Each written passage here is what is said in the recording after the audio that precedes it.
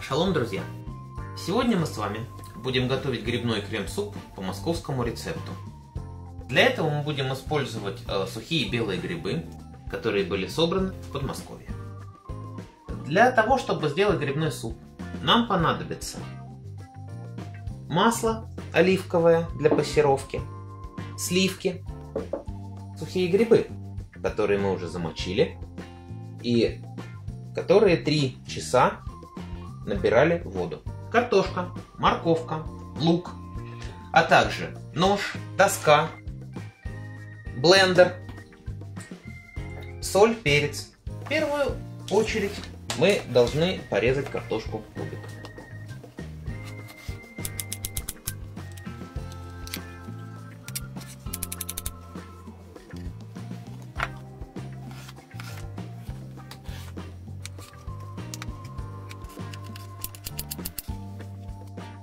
Размер кубиков не имеет принципиального значения, потому что мы все равно потом будем суп гомогенизировать. Готово. Далее мы могли бы э, точно так же с помощью ножа и собственных рук э, порезать лук, порубить морковку. Но сегодня у нас есть в помощниках замечательная кухонная техника.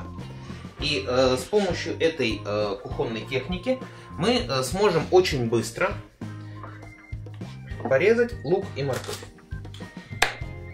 Морковку нарезаем крупными частями. Исключительно для того, чтобы блендеру было удобно ее перемалывать. Некоторое количество лука мы оставим вот такими вот круглыми полукольцами для украшения это вам будет показано чуть позже. А пока что нарежем лук и будем использовать современную кухонную технику. Обратите внимание, нам нужно, чтобы лук был порублен, но не э, превратился полностью в кашу. Поэтому мы не просто включаем, а включаем в пульсирующем режиме. То есть, если у кого-то есть э, пульс, ставим пульс. Если нет, то просто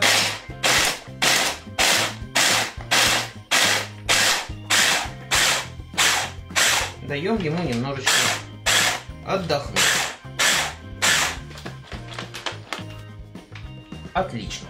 Теперь приступаем к пассерованию. Берем сковородку.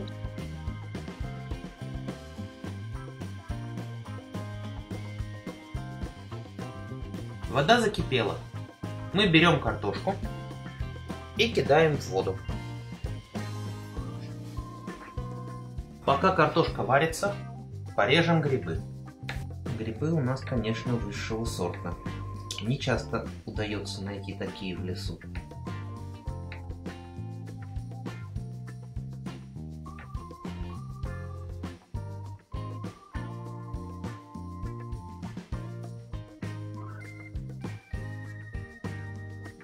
Вот какая у нас получилась. Отличная зажарка. Посмотрим, что у нас с картошкой.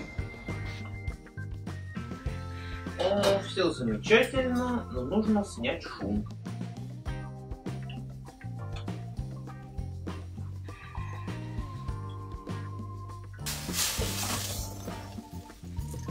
Хм. Отлично, почти готово.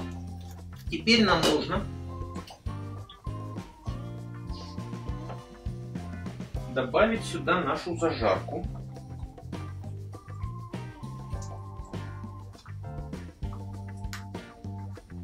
Добавляем воду, которой мы замачивали грибы.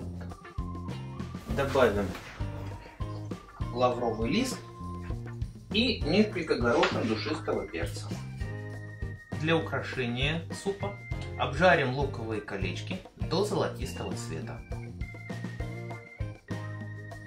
Не оставляйте луковые кольца без внимания, потому что их очень легко сжечь, и вместо золотистого цвета они станут темно-коричневыми.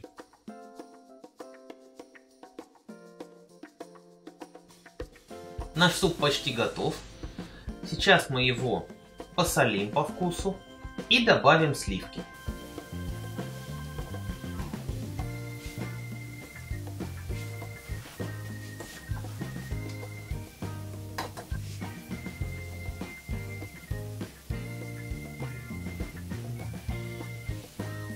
Итак, наш суп почти готов. Последний этап – делаем его однородным с помощью ручного блендера.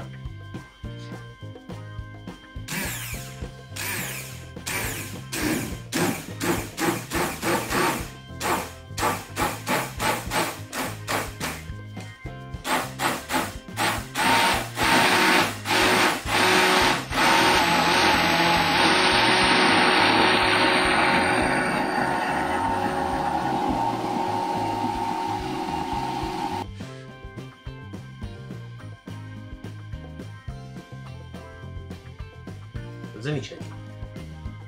Петело.